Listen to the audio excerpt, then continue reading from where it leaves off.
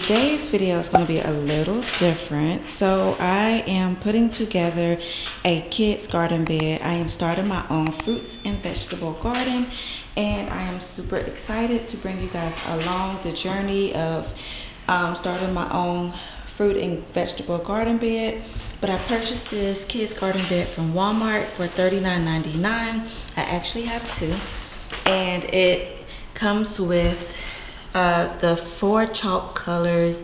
It comes with the liner and drain hole and then it comes with the, it, well, it reverses to chalkboard. So if you want to write your fruits or veggies or whatever you want to write on it, you can. So I've already gotten started and I am currently screwing in the screws. As you can see, I've done this side. Now I need to do this side and I have my lovely husband helping me. So yeah, so let's get finished with this garden bed.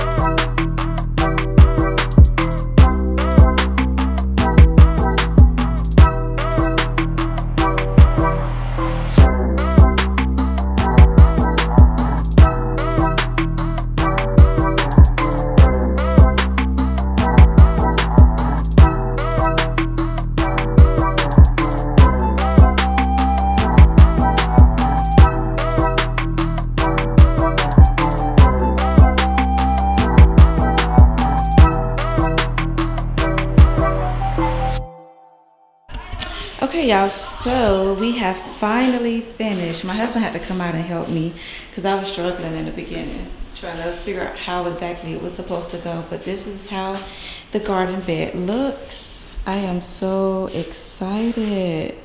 Oh my goodness. Um, so this is the liner, if it will focus, hold on.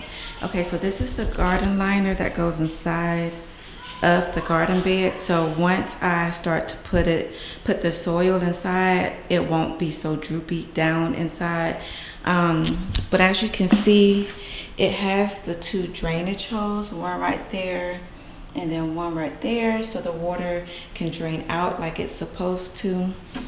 Um, but this is the liner and so you just start to put your soil inside on top of the liner and it'll fit in properly.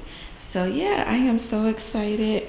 And when I start to um, put my fruits and veggies in, I will bring you guys back so you can see that process as well.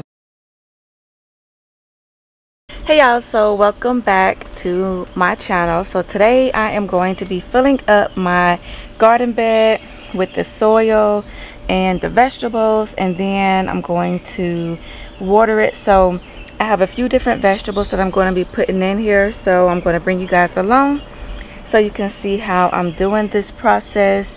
This is a new journey for me. So I wanted to bring you guys along so you can see how, you know, I start this journey off and yeah, just watch along with me as everything grows. I don't know what I'm doing. I'm learning as I go but I wanted to bring you guys along with me so I hope that you enjoy this um, series to my channel and I hope that if you haven't already subscribed go ahead and hit that red subscribe button and give this video a thumbs up and let's get to it okay so this is the garden bed. So I decided to bring it to my back porch. This is where I'm going to be keeping it at. Um, I don't have anybody directly behind me. It's just trees. Um, but I do have neighbors on both sides but that's not a, issue. But this is the garden bed and I just have my Vigoro. Um, this is tomato and vegetable garden plant food plus calcium it says it promotes vigorous growth and high yields. And this is just some chalk that you can write on the side of the garden bed.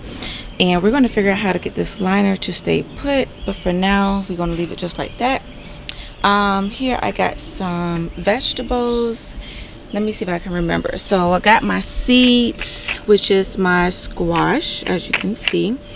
And then this right here i think these are my strawberries yeah so these are my strawberries. And the good thing about these these are perennial so these will come back every year. And I just realized that those are perennials. And then these are my um, sweet banana peppers. As you can see some of them are growing already. You see that? They are growing. I've been watering them so they've been growing. And this is my tomato plant um, don't know if these are considered to be perennials or annuals but however this is my big boy tomato plant. And then this one right here I just got this one yesterday. This is my muscadine plant. Um let's see triumph muscadine. So I'm excited to watch this one grow. I just got two two leaves I guess you would call them leaves if they're not leaves I don't know what you call them maybe buds. Um and then I picked these up today. I am super excited about this one. So this is hold on y'all let me get this out.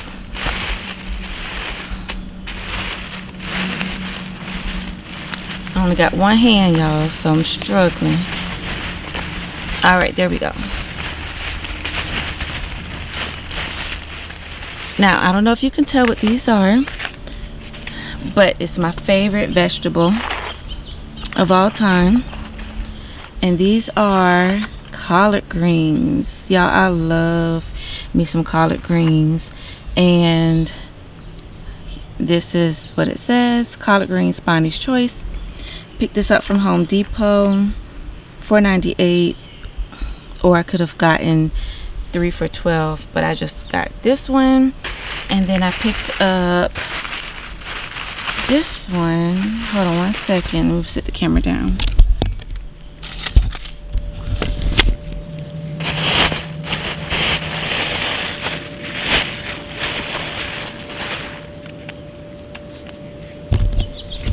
Okay, y'all. So this one is my watermelon plant.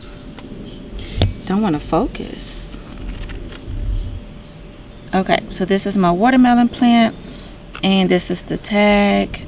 This says let's see crimson sweet. And I got the sweetest one. They had different varieties but I picked this one up. Um, I can't wait for this one to start growing. My husband loves watermelon and my son. I'm not really a big fan of it but I'll eat it so but yeah so these are my fruits. I'm going to be doing my fruits most likely tomorrow. And i'm going to be planting my vegetables today. Um, the sun is just now coming back out. But i've had these all of these out in the sun all day today so yeah. But yes i'm going to set the camera down so we can get started. And like i said if you have any questions about this or if you have any ideas or suggestions make sure to leave them down below. I am a newbie to this so i'm learning as i go. If you have any ideas or suggestions let me know. So I also got these cucumbers that I purchased from Home Depot, the seeds. So these are going to go in my garden bed as well. And then let me show y'all this cute little set that I got from Walmart. It's a kids garden and hand tool set, but I'm going to be using this myself because it comes with the trowel, the shovel, and the cultivator. Now, if I find that it's just not working out for me, I'll go back and get the regular one, but this was only $10 from Home Depot. I'm sorry, from Walmart. And then I got my gloves. So yeah, we about to get started, y'all.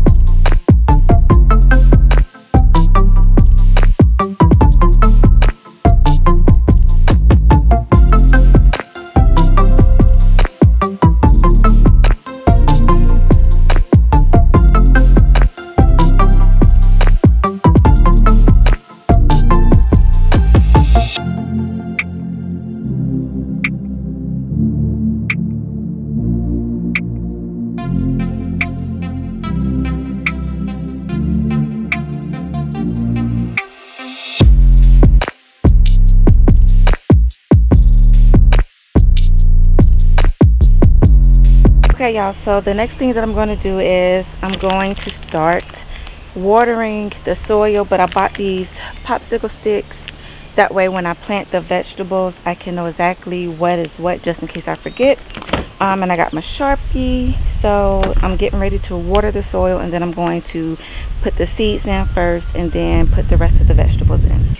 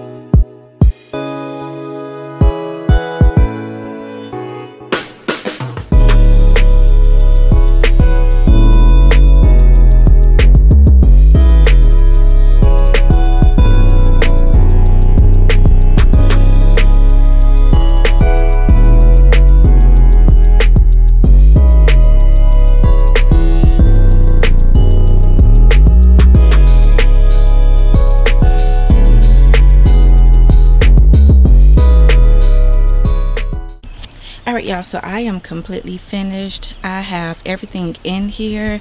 We're going to start from the back. We got some squash going right there and we got some more squash growing. Then over here in the left corner we got some cucumbers. That's going to be growing.